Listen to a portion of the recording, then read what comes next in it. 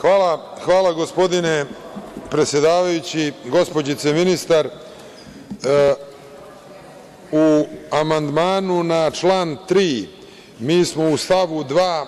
izmenili dve reči i naizgled to i nije neka promena u odnosu na ono što piše da svako ima pravo na zaštitu od posledica katastrofa bez ikakve diskriminacije. Mi smo izbacili to bez ikakve, nego smo napisali da svako ima pravo na zaštitu od posledica bez diskriminacije po bilo kom osnovu.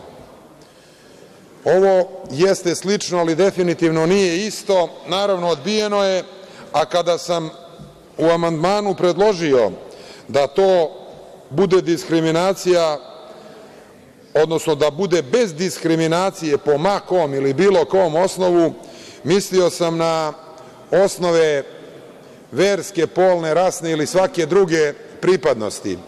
I onda dolazimo u paradoksalnu situaciju da mi iz Srpskog pokreta Dveri, koji se često iz raznoraznih razloga, a najčešće su oni političke prirode, jer nikako drugih istinskih nema, optužujemo za razne stvari i predlažemo nešto što neće da se usvoji, a ima smisla. A koliko to ima smisla govori najbolje ovo što se u nekih poslednjih par dana dešava u Republici Srbiji, a što se nastavlja i dalje, gde imamo situaciju da gospodin Ugljanin potpaljuje vatru koju on sam vidi, pritom ne preza ni od čega, ni od kakvih izjava i jutros je dao jednu vrlo interesantnu izjavu u kojoj je predsednika države okarakterisao kao dobrog predsednika za Srbiju, a lošeg predsednika, kako on kaže, za Bošnjake. Ja sam stvarno zbunjen time šta se dešava, ali još sam više iznenađen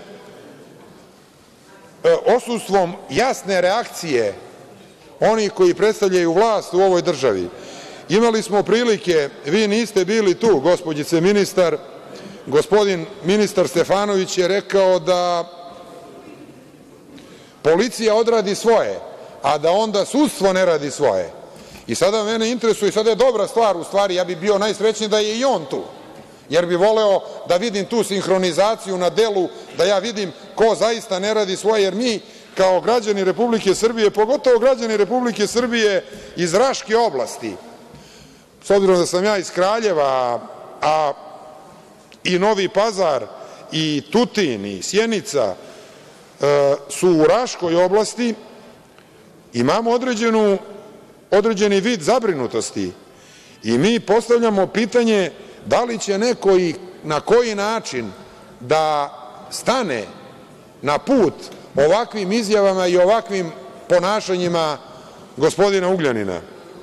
Ja sam juče pričao o tome kako i najbrojnija i vladajuća stranka u državi Srbiji ima pojedine vidove saradnje sa strankom gospodina Ugljanina i živo me interesuje da li će svi ti vidovi saradnje da budu prekinuti.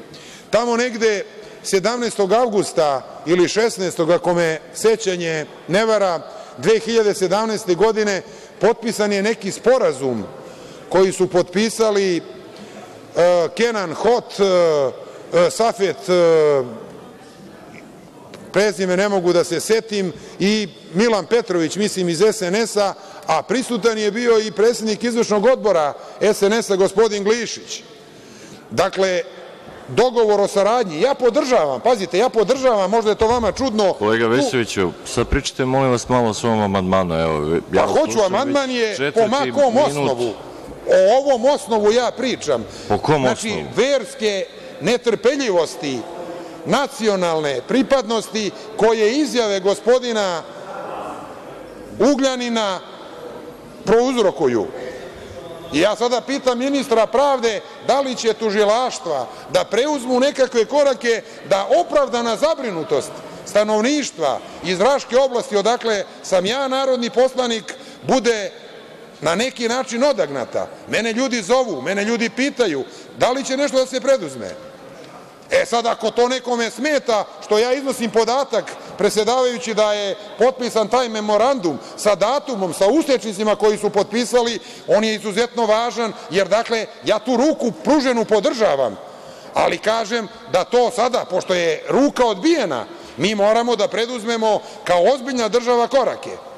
Jer ako gospodin Ugljanin priča o srpskoj državi u Srbiji, koja je fašistička, mi moramo da se složimo da je to veliki problem, jer ta Novi Pazar je 100 km od grada Kraljeva. Ja sam narodni poslanik iz grada Kraljeva i to je ta veza o kojoj ja pričam. Ja sam zato napisao po makom osnovu, sa sasvim dobrom idejom i namerom, da naglasim potrebu saradnje i međunacionalne i međuverske sa svakom grupacijom. Naravno, to je odbijeno, a da više vremena ne koristim, ubeđen sam da odgovor neću dobiti, a voleo bih da čujem šta o tome misli gospođica ministar. Hvala.